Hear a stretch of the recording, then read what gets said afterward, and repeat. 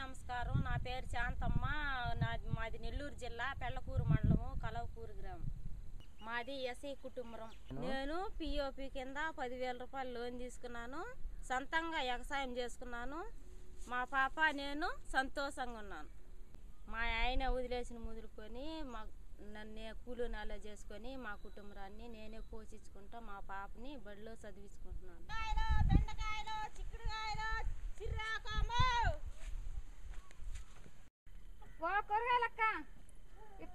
తీసుకురా. శాంతక్క నువ్వా? నేనే. అప్పుడంతా పనికి వస్తుండేవు కదా ఈ కూరగాయల వ్యాపారం ఎప్పటి నుంచి పెట్టావక్క ప్రభుత్వం తరపున ఈఓపి కింద పదివేలు లోన్ ఇప్పించారు. మోటార్ కిందకయ్యా అరెకరా లీజుకి తీసేసినారు దాంతో అరెకరా కై లీజుకి తీసుకొని కూరగాయలు సిరివరి వేసుకొని అవి తోపుతూ అమ్ముకుంటున్నాం. నిరుపేద వ్యూహం కింద ప్రభుత్వం వారు ఎస్సీ ఎస్టీ కుటుంబాలకు లోన్లు ఇచ్చి చేపిస్తున్నారు కదా ఇదేనా అది ఆ, అందులోనేనమ్మా గ్రామ సంఘం వాళ్ళు నిరుపేదగా గుర్తించి ఈ లోన్ ఇప్పించారు అందరికీ నమస్కారము. ఈ సమావేశం యొక్క ముఖ్య ఉద్దేశం ఏంటంటే భూమి లేని వ్యవసాయ కూలీలను ఎస్సీ ఎస్టీ కుటుంబాలకు చెందిన వారిని గుర్తించి ప్రభుత్వం వారు నిరుపేద విహ పథకం కింద లోన్ ఇవ్వడం జరుగుతుంది. అదేవిధంగా మన గ్రామంలో కూడా భూమి లేని నిరుపేదలను ఎంపిక చేసుకోవడం కోసము ఈ సమావేశాన్ని ఏర్పాటు చేశాము. ఇప్పుడు మన గ్రామ సంఘం నుంచి శాంతమ్మని ని- నిరుపేద రైతుగా గుర్తించాము. అది ఎందుకు ఆమెనే ఎందుకు గుర్తించాము అంటే ఆమెకి సొంతంగా భూమి లేదు ఎస్సీ కుటుంబానికి చెందింది. అది కాకుండా వాళ్ళ భర్త నుంచి దూరంగా ఉండి కూలి పనికి పోయి జీవనం గడుపుతుంది. అట్లా ఆమెను ఎంపిక చేసుకోవడానికి మీకు అందరికీ సమ్మతమే కదా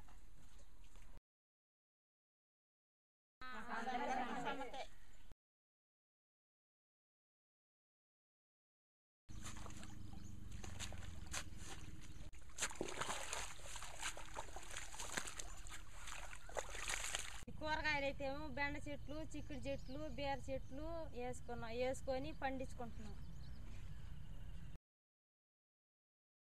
ఆకుకూరలు అయితేనో అది గోగాకు చల్లుకున్నాను ఇది వచ్చి సిరిగాకు చల్లుకున్నాను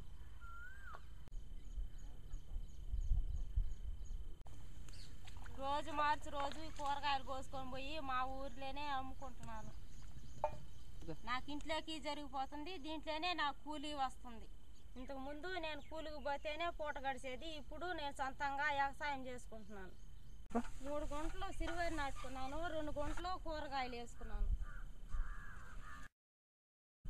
సిరివరికి కూరగాయలకి వచ్చే తెగుళ్ళకి మా మేడం కొన్ని కసియాలు నేర్పించింది. ఆ కసియాలు తయారు చేసుకొని తెగుళ్ళకి మేము కుట్టుకుంటున్నాం.